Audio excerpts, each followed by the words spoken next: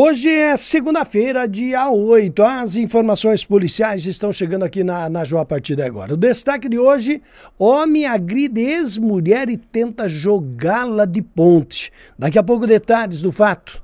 Começo falando de um acidente que aconteceu por volta de 5 e meia da manhã de sábado na BR-153 em Rebouças, quando o condutor de uma caminhonete Fiat Strada placa de Rua Azul perdeu o controle da direção da mesma, invadiu a pista contrária e atingiu um caminhão placa de São Paulo que seguia sentido Irati. O condutor da caminhonete fugiu do local sem ser identificado. Testemunhas disseram aos policiais rodoviários federais que este estaria com indícios de embriaguez e teria sofrido ferimentos leves. O condutor do caminhão não se feriu. No teste do etilômetro dele, deu resultado negativo. Em Ipiranga, na noite de sábado, um motociclista foi preso por embriaguez ao volante. Ele não conseguiu fazer o teste do etilômetro devido à sua condição de embriaguez. Ele conduziu uma moto CG 125 Fan, foi registrado o termo de constatação de embriaguez, o mesmo foi encaminhado à 13ª Subdivisão Policial em Ponta Grossa. A carteira nacional de habilitação dele estava vencida desde 5 de abril de 2018 e a moto foi recolhida ao destacamento da Polícia Militar de Ipiranga. No sábado, em Ivaí, uma mulher informou que seu ex-marido estava ameaçando-a de morte pelo aplicativo WhatsApp. O homem chegou a dizer que não adiantava a ex-mulher solicitar medida protetiva. Ameaçou também as irmãs dela. A mulher disse que anteriormente foi agredida com uma faca.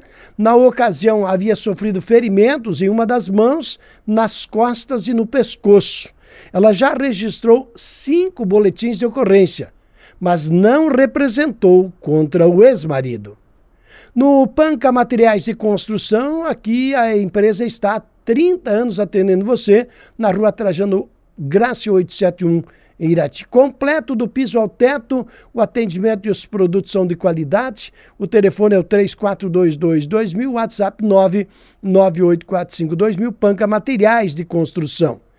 Em Irati, duas e meia da tarde de sábado, a Guarda Municipal recebeu denúncia de que haviam pássaros silvestres presos em gaiolas numa residência no conjunto Joaquim Zarpelon.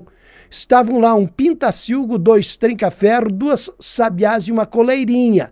O responsável pela casa e os pássaros foram encaminhados à delegacia.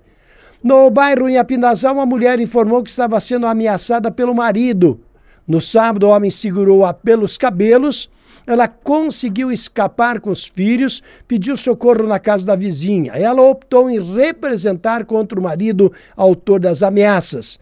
Ele foi localizado pela Polícia Militar e encaminhado à delegacia.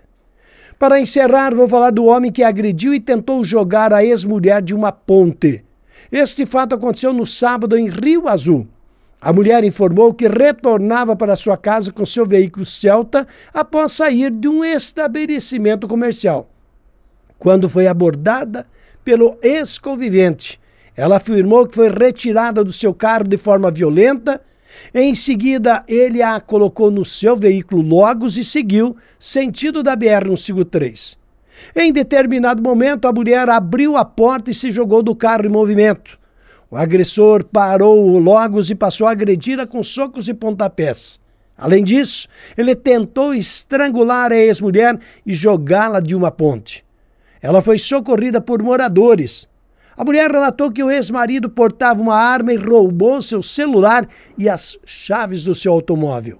Policiais militares foram acionados, mas não conseguiram localizar o agressor. Eram o que tínhamos as informações policiais para esta segunda-feira.